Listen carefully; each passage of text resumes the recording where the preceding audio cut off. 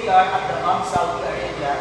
Nandito, um, uh, nandito tayo ngayon sa isang store ng uh, ice cream.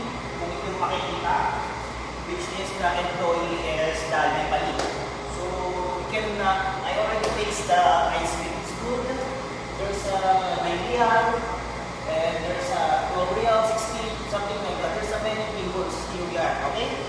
Just uh, take a look the flavors. Aywa, like that. Then, aywa, aywa, aywa. Alright, here we go. You can you can taste it and you can prove it that this is delicious ice cream in the mom. Mabuhay!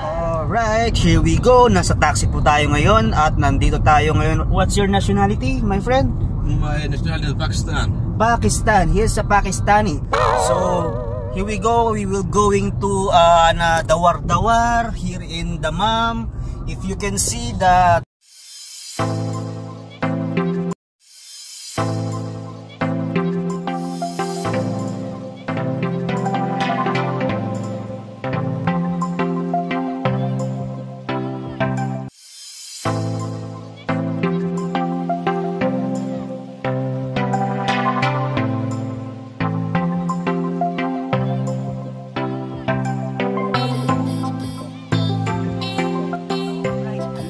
hello, buhay.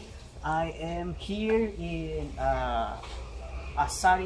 It's like a store, and it's a different kind of uh, materials here. So, mabuhay Philippines, and welcome to my vlog. All right, if you can see here, there's a lot of uh, things. So, titingin-tingin tayo ng mga iba't ibang klase ng mga ano dito. Merong 5 real, there's kamsa-kamsa, there's a hundreds. So we can check if it is okay and please. Alright, and just checking only the materials. Alright, here's the cashier. Aywa, the cashier. Okay, uh, I will welcome to my vlog again. My name is Serafin and mabuhay. Okay, here we go you can see that's different uh, shoes and sections so you can choose anyone. All right uh, there's a shoes here black shoes